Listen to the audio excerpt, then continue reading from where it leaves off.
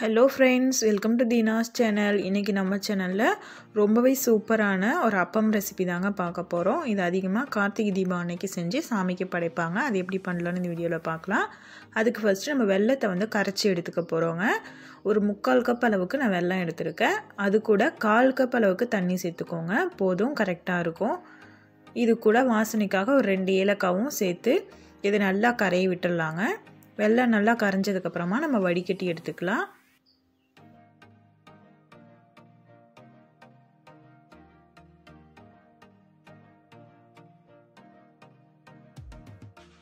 இப்போ பாருங்கள் வெள்ளம் நல்லா கரைஞ்சிருச்சு. பாகுப்பதம் எதுவும் பார்க்க வேண்டாங்க. வெள்ளம் கரைஞ்சால் போதும். இப்போ இதை ஸ்டவ் ஆஃப் பண்ணிவிட்டு ஒரு ஃபில்டர் வச்சு நல்லா நம்ம ஃபில்டர் பண்ணிக்கலாங்க. இதில் தூசி மண் ஏதாச்சும் இருந்துச்சு அப்படின்னா இந்த ஃபில்டர் பண்ணும்போது வந்துடும் அதுக்காக தாங்க நம்ம இந்த ஸ்டெப் பண்ணுறோம்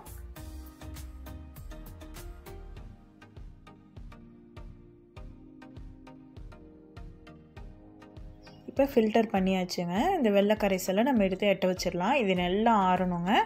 நல்லா ஆறினதுக்கப்புறமா நம்ம யூஸ் பண்ண போகிறோம் இப்போ பார்த்திங்கன்னா ஒரு கப் அளவுக்கு பச்சரிசியை நான் ஒரு ரெண்டு மணி நேரம் போல் நல்லா ஊற வச்சுருக்கேங்க.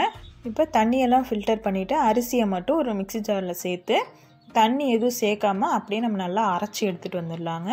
இப்போ பாருங்கள் நல்லா அரைச்சி எடுத்துகிட்டு வந்துட்டேன். இப்போ நம்ம முன்னாடியே ரெடி பண்ணி வச்சுருந்த அந்த வெள்ளை கரைசலை சேர்த்துக்கலாங்க. அது முக்கியமாக நல்லா ஆறி இருக்கணுங்க. சூடாக நம்ம வந்து அரைக்கக்கூடாது. இப்போ கொஞ்சமாக சேர்த்து இந்த மாதிரி நல்லா அரைச்சி எடுத்ததுக்கப்புறமா இது கூட ஒரு ரெண்டு டீஸ்பூன் போல் தேங்காய் துருள் வந்து சேர்த்துக்கலாங்க. ரெண்டு ஸ்பூன் சேர்த்தா போதுங்க. இப்போ இது கூட ஒரு வாழைப்பழம் இந்த மாதிரி கட் பண்ணிவிட்டு சேர்த்துக்கோங்க. அதையும் சேர்த்துட்டு நல்லா அரைச்சதுக்கப்புறமா மீதி இருக்க அந்த வெள்ளை கரைசலும் இதில் சேர்த்து இதே மாதிரி நல்லா அரைச்சி எடுத்துக்கோங்க. இதுவே போதுங்க. இது கூட நீங்கள் எக்ஸ்ட்ரா எந்த தண்ணியும் சேர்க்க தேவையில்ல. இந்த பதத்துக்கு இது இருந்தால் போதும். இப்போ அப்பம் சுட ஆரம்பிச்சிடலாங்க. இந்த கன்சிஸ்டன்சிக்கு இருக்கணுங்க மாவு. இது கூட எந்த தண்ணியும் சேர்த்துடாதீங்க நம்ம சேர்த்த வெள்ளை கரைசலே கரெக்டாக இருக்கும். இப்போ ஒரு பேனில் எண்ணெய் சேர்த்து சுட வச்சுருக்கோங்க. எண்ணெய் வந்து ஒரு மீடியம் ஹீட்டில் சூடானால் போதும்.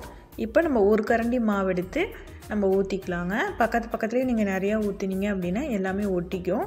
இதே மாதிரி முதல்ல ஒரு கரண்டி ஊற்றிட்டு இதே மாதிரி மேலெழும்பி வந்ததுக்கப்புறமா நீங்கள் திரும்ப இன்னொரு கரண்டி ஊற்றிக்கலாங்க பாருங்கள் ஒரு பக்கம் லைட்டாக வெந்ததுக்கப்புறமா இன்னொரு பக்கம் நம்ம திருப்பி போட்டு இது நல்லா வேக வச்சுக்கலாம். இந்த மாதிரி கலர் மாறி வந்ததுக்கப்புறம் நம்ம எடுத்துடலாங்க. நல்லா வெந்துருச்சு.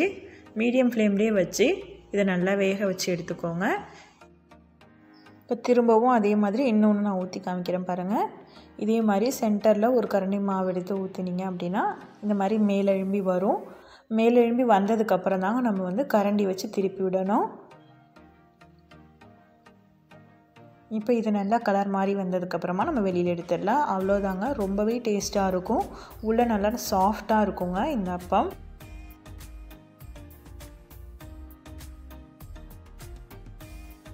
பாருங்கள் உள்ளே எவ்வளோ சாஃப்டாக இருக்குன்னு.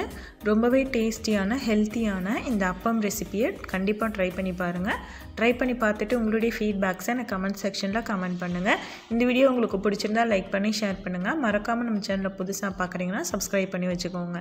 இதே மாதிரி வேறு ஒரு இன்ட்ரெஸ்டிங்கான வீடியோஸோடு உங்களை வந்து மீட் பண்ணுறேன் தேங்க்யூ ஃப்ரெண்ட்ஸ்